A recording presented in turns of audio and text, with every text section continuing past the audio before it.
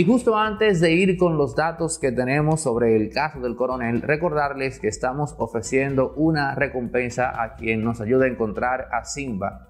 Eh, la recompensa es de 10 mil pesos para quien nos ayude a que Simba, nuestro felino, vuelva a las instalaciones de Resorte Media. El número para la información del lugar está en pantalla, 829-741-361 signo distintivo de Simba es que tiene las patitas traseras blancas de, la rodilla hacia abajo, hasta las garras, que es cariñoso, juguetón, responde al nombre de Simba, es muy amigable, usted lo puede llamar, ponerle la manito y muy posiblemente él vaya donde usted si es que lo encuentra por ahí en la calle. La recompensa, repito, es de 10 mil pesos a quien nos ayude a dar con Simba. Ahora sí, vamos con los contenidos. Todo el mundo o casi todo el mundo en el PLD, le dio la espalda al mandatario en cuanto al tema de Ariel Henry y si debió o no dejarlo entrar, planteando que sí. Pero una figura del PLD que fue canciller en los gobiernos de Danilo Medina, Andrés Navarro, de forma autónoma, cuando se le preguntó sobre el tema, dijo que el presidente hizo bien en no dejar entrar a Henry, a RD. Y a mí en particular, ver eso me pareció fenomenal. Saber que a pesar de que en nuestros partidos alegando homogeneidad, alegando una sola postura, alegando que se tiene que ser unido para enfrentar al gobierno o, si no la oposición, se les exige entonces a quienes eh, pertenecen eh, delegar, pensar y sencillamente difundir lo que se decide al más alto nivel. Es evidente que en el comité político del PLD hay una línea de criticar todo lo que haga el gobierno en el tema fronterizo. Pero a Andrés Navarro, que casualmente fue canciller, se le preguntó y él dijo que sí, que el gobierno hizo. O sea, Andrés Navarro, PLDista que fue danilista, ya no lo es, pero fue danilista, ¿no? Ahora está tratando de sacar cabeza y brillar con luz propia. Recordemos que fue incluso precandidato presidencial, en fin. Andrés Navarro dijo categóricamente que el presidente hizo bien. Y es importante que ese tipo de opiniones sean citadas en aras de que la masa no se deje manipular. Aunque siento que es muy difícil, no diciendo imposible, pero sí muy difícil, que haya dominicanos que genuinamente piensen que se hizo mal en negarle la entrada a Ariel Henry. Siento que todo dominicano, al menos en eso particular, va a apoyar al presidente. Yo lo apoyo de forma rotunda. No debieron dejarlo entrar. Nos libramos de un problema. Y entiendo que no habrá repercusión de cara a Estados Unidos que inicialmente quería que lo dejáramos entrar porque Anthony Blinken llamó a Ariel Henry y le dijo, mira, eh, no, es que, no es que te vayas, pero acelera eso. O sea, acelera la transición.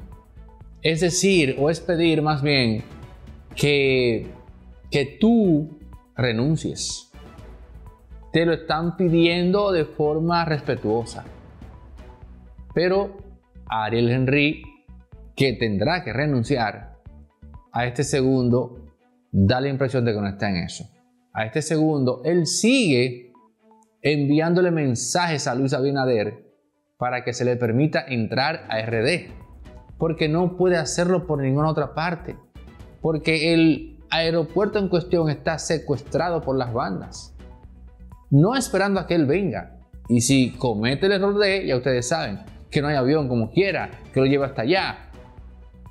Pero ese secuestro es para precisamente disuadir a que él entre al país. Puede hacerlo por la frontera dominicana o podría hacerlo por ahí.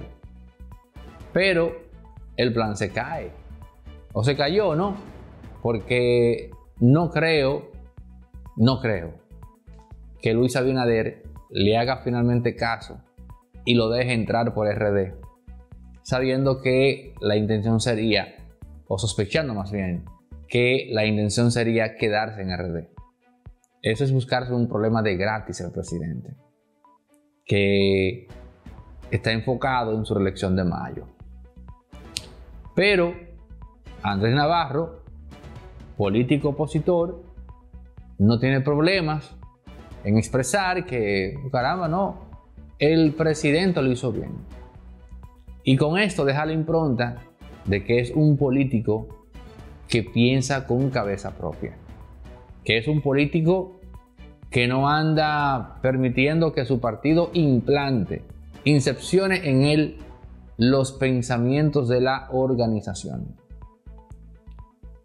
Da muestra entonces de que no está dispuesto a prestarse para eh, juegos politiqueros de cara al tema en la frontera y eso es una señal positiva de la sociedad civil que están haciendo una batalla cultural muy fuerte. Y una de las eh, de los tips, digamos así, de los consejos ineludibles es llevar algo para anotar. Porque vos necesitas, digamos, no perder el hilo y seguirle el hilo al otro. O sea, no solamente es no perder tu hilo, sino seguirle al hilo al otro y ver qué palabras está usando mal, porque en las, o sea, uno cuando expone, cuando argumenta, evidentemente lo hace con palabras y las palabras tienen una carga valórica muchas veces. De construir palabras es meterse en definitiva con la raíz de lo que está diciendo la otra persona, pero para eso yo tengo que ir anotando todos los puntos, todos los argumentos, las citas, los autores que el otro me está diciendo. El debate es un ejercicio intelectual que te deja agotado.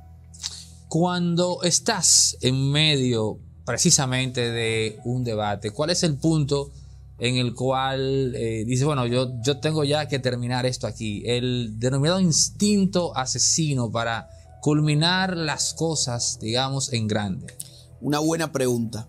Una buena pregunta. Una buena pregunta es el mejor ataque. no, no, o sea, en el, en el debate, una buena pregunta creo que puede ser el mejor ataque. Y es el que genera momentos memeables. Por ejemplo, a ver. Una vez me llaman de un canal de la televisión argentina, ya no me llaman más, pero en ese momento todavía alguno me llamaba para tener un debate sobre la marcha feminista que había tenido lugar el día anterior, donde habían reventado la ciudad de Buenos Aires habían tirado bombas molotov contra iglesias, habían pintarrajeado los comercios, habían destruido el espacio público. Y la feminista que está en el estudio, ella, yo estoy desde mi teléfono, es muy difícil dar un debate desde un teléfono, pero en ese momento estaba con un teléfono, la feminista me quiere pegar con una pregunta algo así. ¿Cuánto, dice, yo quiero saber cuánto le importan las vidas de los trans, cuánto le importan las vidas de los LGBT, de las mujeres que mueren todos los días asesinadas por el patriarcado, cuánto le importa todo esto al señor Laje. Yo ahí, evidentemente, eso es una pregunta retórica. ¿Qué voy a responder a eso? Le respondo con otra pregunta. Yo quisiera saber cuántas de todas esas vidas ustedes salvaron el día de ayer tirando bombas molotov contra una iglesia. Y la mujer, eh, la feminista, se queda, viste, cuando ya se genera eso, donde la palabra no sale, eh, ese es el momento del meme. Y en un debate, cuando uno necesita que el debate sea no solo viral, sino, digamos, que tenga un momento de contundencia, que incluso se recorte eso y se incruste como clip en Instagram, por ejemplo, necesita generar ese tipo de momentos. Hoy día sales a un debate, el que decidas dar en lo adelante, sales, digamos, con, esa idea preconcebida de voy a, voy a, voy a sacar un momento memeable sí o sí. No. O viral sí o sí. No. Yo lo busco cuando realmente veo que del otro lado hay malicia. Vos fíjate, yo tengo muchos debates ¿Cómo se puede ir a un debate sin percibir malicia en el adversario? Eso es algo que se va a dar sí o sí. No, no, lo hay. Afortunadamente algunos todavía quedan. El tema es que esos no son los virales pero son los debates que uno puede sentirse más complacido al final del día. Si yo veo que me está haciendo una pregunta maliciosa como la que te comentaba recién, pues evidentemente yo le voy a retrucar con algo peor. Ahora, si el diálogo fuese con una persona razonable, donde estamos cada uno intentando defender lo propio, pero sin tratar de humillar al otro, Yo puedo tener un diálogo totalmente amable y disfrutarlo. El problema es que la audiencia no lo disfruta eso de la misma manera. ¿Cuál es tu escenario de un debate ideal? Mi debate ideal con un par de cervezas, no en un marco académico. Ahora tengo dos o tres debates en Ecuador, eh, en una universidad. Los debates en las universidades son muy entrecortados, son con un tiempo muy riguroso, ¿no? O sea, dos minutos para explicar tu posición, yo dos minutos. Vos ahora le haces la réplica en un minuto y medio, ahora yo en un minuto y medio. Eso me parece que se pierde un poco. Me gusta más la idea, un escenario como este, quizás en vez de hago unas cervezas para hacerlo más ameno, me gusta la idea de que el debate pueda ser relativamente amigable. Eh, y me encantaría, por ejemplo, el debate ideal, yo creo que es el cual cada uno defendiendo su posición puede lograr algo importante para sí mismo. Y en este momento, el tema en el cual eso se puede lograr es la pregunta, ¿qué es la derecha y qué es la izquierda? ¿Te imaginas un debate? Vamos a decir, quizás ni uno. Te confieso que hoy día a mí mismo me da un poco de dolor de cabeza porque siento como que, sobre todo, siento como que hay gente de derecha que hoy día se está comportando como gente de izquierda y no sé en qué mundo es que estoy viviendo. Por eso es urgente y por eso los dos grupos le sacarían partido una cosa así. Imagínate quizás ni siquiera uno a uno, imagínate dos, dos, dos personas de derechas, dos de izquierdas. Definiendo, vamos a definir qué entienden ustedes por izquierdas, qué entendemos nosotros por izquierdas, qué entendemos nosotros por derechas y qué entienden ustedes por derechas.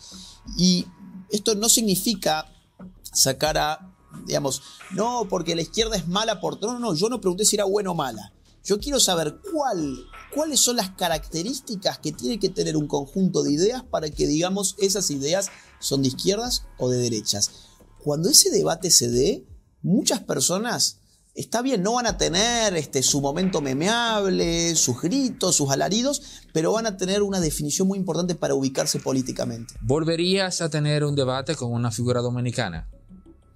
Sí, mira, yo te soy sincero, cada vez disfruto menos los debates porque se han vuelto esto que mencionábamos, gritos, eh, mucho show, em, y al final del día eh, hay algo que a mí me da tristeza, que es que, por ejemplo, voy a ponerlo en términos de otro personaje. Resorte Media es también productora audiovisual y aquí tenemos espacios eh, rentables para producir contenido, pero también si tu empresa tiene una actividad fuera y va a hacer una transmisión en tiempo real, puedes contar con Resorte Media.